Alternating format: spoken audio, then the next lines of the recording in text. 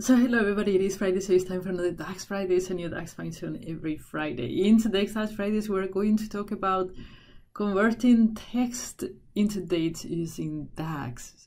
Why would you do that? Yes, sometimes you just have to do it because you have a direct query or a live connection or you only have that column in the model for whatever reason. So I'm going to show you. It is not as easy as it looks. Actually, there's a lot of gotcha. So let's get started. Let me show you.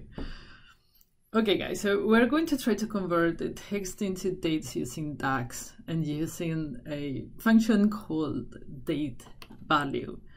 And date value says here that you put the date as a text, and it says that when converting the value, it uses the regional settings of the model. So if you have month, date, year, then uh, this will be the first, the 8th of January, right?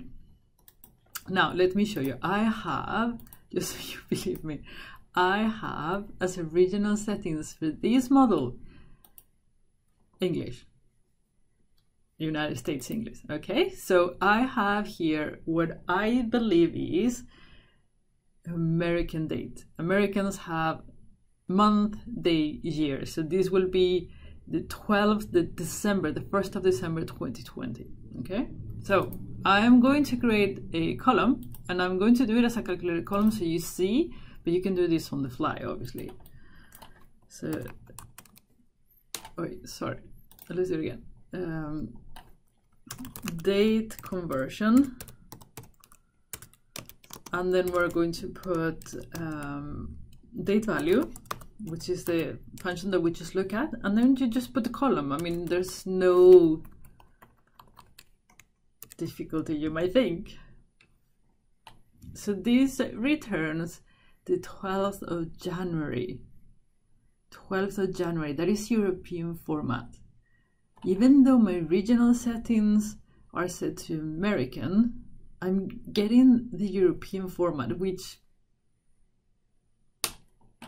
is not intuitive at all. Now, let me continue reading here. It says, the regional settings are initially determined by the application and computer when the model was created. Because I am in Europe, it is ignoring, I think, for what I can see, it is ignoring that my regional settings on Power BI are American and it's giving me the dates, European dates.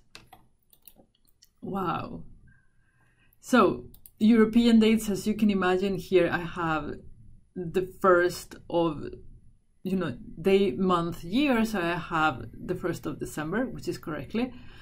Swedish version, you have year, month, date, and then it does it correctly. So this is the 1st of December 2020. Works too, wonderful. Now, let me show you SQL.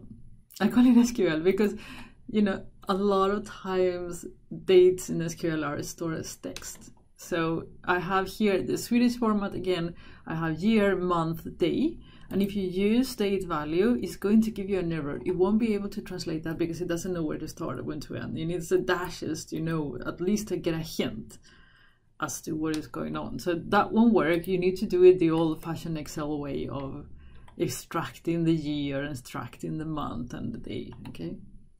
And that will give you the European or whatever. Now, now you you're in charge of how it gets formatted. So this is probably the easiest way to actually make sure that you get what you get.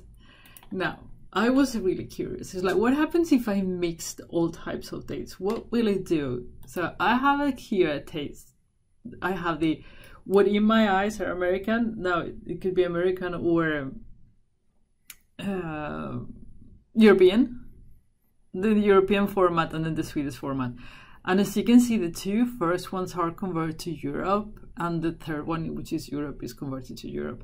So it's actually giving us dates, but all the dates are European. But how about I put an American date here that cannot be European?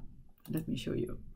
I was not expecting the result at all. So I go in here now I'm going to put, remember, Americans say put month, day, year. So I'm going to put a month that is 12th, a day that is 24th, and the year.